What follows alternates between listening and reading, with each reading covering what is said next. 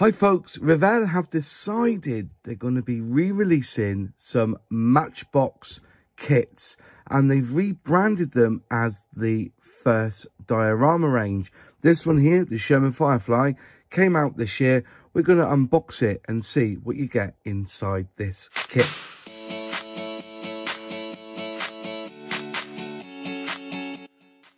Anyways, I'm actually quite pleased that Revell have brought this one out because if you don't know, Revell bought Matchbox and if you were around back in the day, their Sherman Firefly was a delightful little build. It's 176 scale and this one here is a represent is basically a rebox of the Matchbox Sherman Firefly and I think it was the PK 71 and that was a, tw uh, a twin color kit.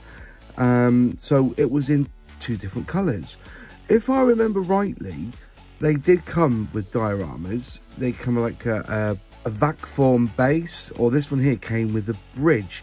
So we're gonna have a have a look inside and just see if it's if it is that kit which i think it is from from back in i think it was 1974 i think they were released again in the 80s and then I think Revell will release them in the early 2000s with the with the diorama as well with with the bridge. Just to look on the box art we've got the um the branding there of first diorama. It's a level four which is very strange. If you don't know about Revell's grades it's nothing to do with how difficult the build is. It's all to do with parts I think level 1 is like up to 12, 15 parts. Level 2 is up to 25, 30. Level 3 is up to 50 parts. Level 4 is up to 75. And then level 5 is more than 70, I think. That's how it works. But um, yeah, it says level 4, but it's clearly not. Now, inside here, it's almost like a starter set from Airfix because they give you the contactor glue or cement, which is great. You know, if anybody tells you, you know, if uh, one improvement that Airfix could do with their starter sets is get rid of that shitty cement that they give you and give them a little bottle of this, not, or not even Revell would do a miniature bottle of their precision poly cement, that would, that would, that would be a game changer. It comes with two paint pots and it comes with the brush it says age 12 plus, and if you want to buy one, I'll leave a link in the description box below where you can get this from on Amazon. The code for it is um, Revell or Revell, sorry, 03299. Side of the box, you've got the warnings, obviously, and on the back of the box, you've got a beginner set for designing your first own diorama to present the model in a realistic scenery. Uh, kit of the powerful British World War II tank Sherman Firefly, plate for diorama, basic colours, adhesive and brush. And uh, there's uh, a little picture there of what else they do. Uh, so you've got the warnings on that side as well, and then also you've got the box art and uh, the scale there, 54 parts, and it will look about 10.4 centimeters it's 144 millimeters. Um, yeah i bought this for 9.99 from mr models at the show i went to at the weekend.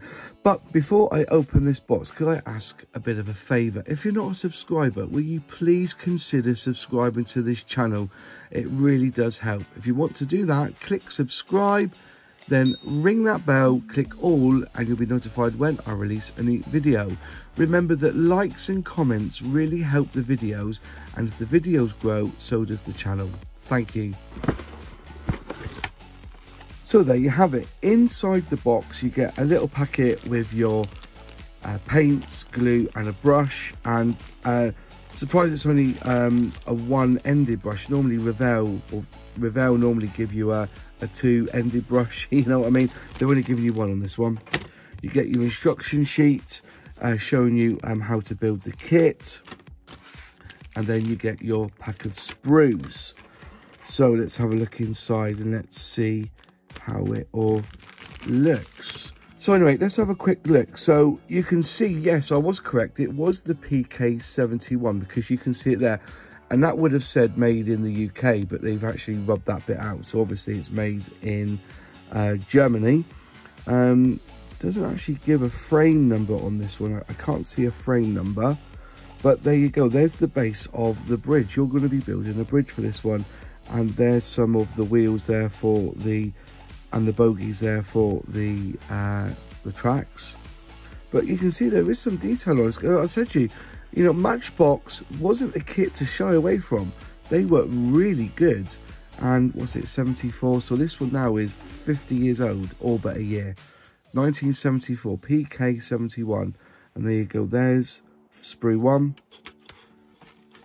Right, so this one's the part, well, I'm going to call it sprue two, but I'm just looking for a sprue.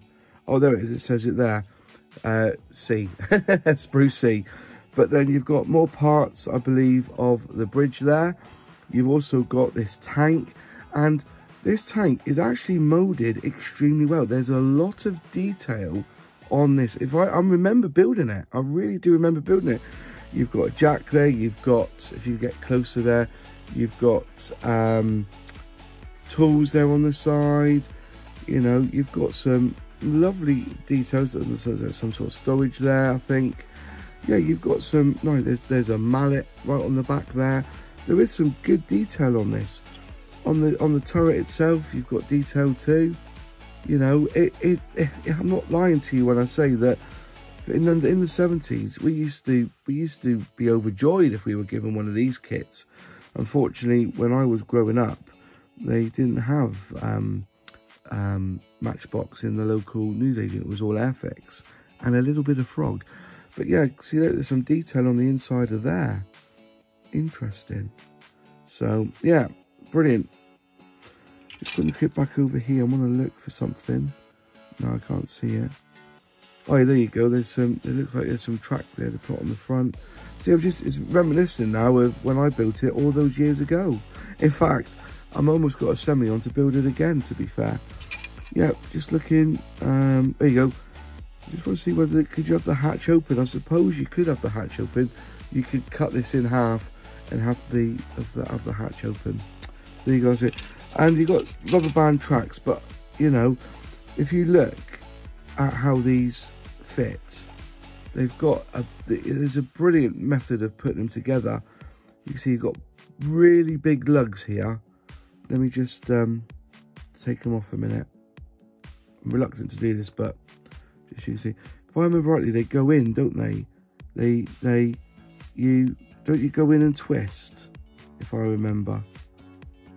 Because I think the bogies are in two parts, and you can actually paint the wheels before you put the track on. Just trying to get the track in here, if I can.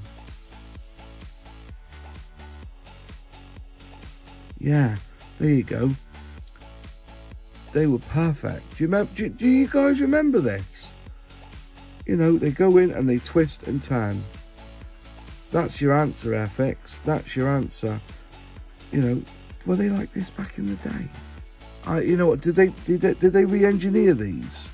I can't remember now. I'm, I'm but I, I do remember building recently. Um, you know, and I remember the tracks being so easy to put together. Anyway, so there's that bit. let's go to the instructions anyway. Okay, let's uh, open up. And obviously you've got, um, a, you know, the instructions for Revell are, are, very, very good. You got a call out there. Um, it looks like they've re, re they've re um, numbered these. So even though it says frame C, it's not frame C. You just look for the numbers. I think it goes from um, there's five there, six. I can't see a one though. Can you see a one? Somewhere there's a one. But yeah, that's it. And then, so basically, uh, you put the, the, the chassis on, so the four-part chassis or body, I should say. Then you're starting to put in the uh, the drive wheels. There you go. There's no need for um, any hot spoons or forks or screwdrivers to attach them. They just go in and twist. Ah, there you go. There's the bogies. They're two-part bogies. And then, and then you can, so you can paint the wheels and put them in, then they slot together and then glue. So you glue them in. Fantastic. So yeah, so you've got, there's two types. So you've got three on one side, three on the other. And then they just go into these pinholes. It's a, I'll swear to you, it's a really good tank from Matchbox. So Revell can take some of the glory for reproducing it, but they picked a good tank to make a first diorama set of Again, putting the bogies in into little pins. Then you start building up the, um, the turret. Turn over the page. You know, you've got your, your spare tracks there, a little bit of storage on the back, I think that is. And then you just put it in. You don't actually glue it in. You push it in and use that. And then this all fits on the top. And then there's a little piece here on how to put the uh, bridge together. One, two, three, four, five piece. Fantastic. And then you've got a couple of schemes, I believe. We've got a few schemes, actually. You've got the 2nd Battalion, the Coldstream Guards in 1944. So you're using decal 7 and 9, 7 and 9. Um, and then you've got a top view, which is, you know, you've got 2B on the back.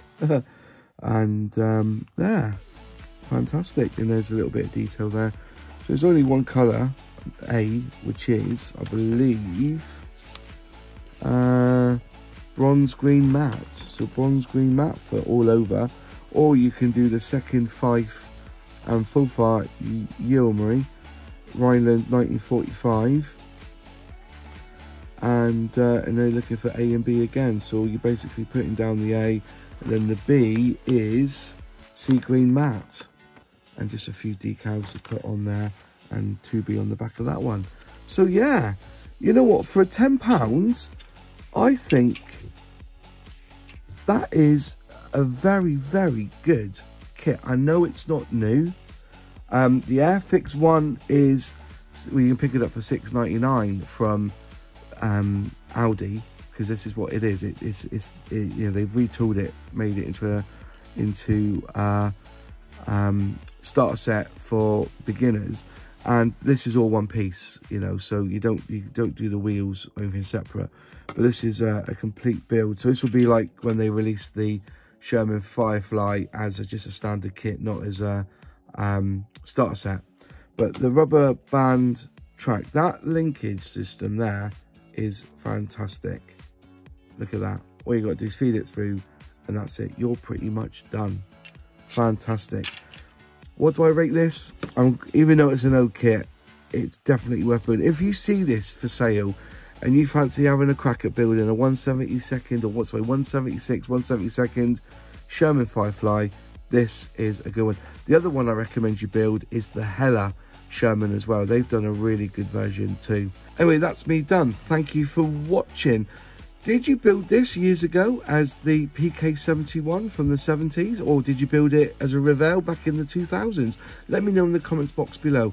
And if you do buy one, just let just send me an Instagram or, or anything. Tag me in your pictures when you've built this kit to let me know how well you've got on with it and just let me know what, what you think of it once you've built it. If you like the video, click like.